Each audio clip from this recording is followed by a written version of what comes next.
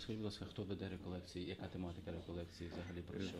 В цьому році реколекції веде отець Джермано Марані, єзуїт з Італії, він є ритуаліст, і він знає дуже добре Україну, бо працював тут ще в 2001 році, коли був процес бетифікаційний тих е, 26 мучеників греко-католицької церкви, котрих beatyfikował чи głosił блаженними Jan Павло II.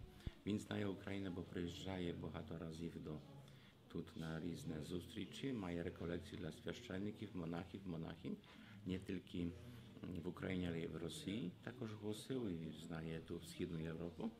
Тематом реколекції є Святе Письмо, а наше життя. Дає приклади Святого Письма і каже, що ми маємо як єпископи робити е, для себе, для свого спасіння, але також особливо для спасіння тих, е, котр- над котрими ми, чи для котрих ми працюємо, над котрими нас поставило, ем, поставило Боже провідіння і Божа опашність.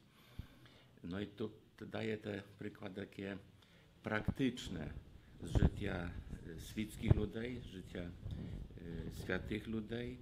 Osobliwo wczoraj skazał pro świętego Maksymiliana Kolbe, a najbliższe pro świętego brata Alberta, że w tym roku trzeba znać, że w Polsce jest rok brata Alberta.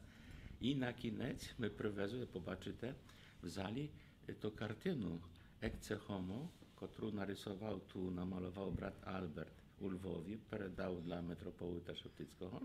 I my przed tą kartyną już chodni mamy te nasze nawczania.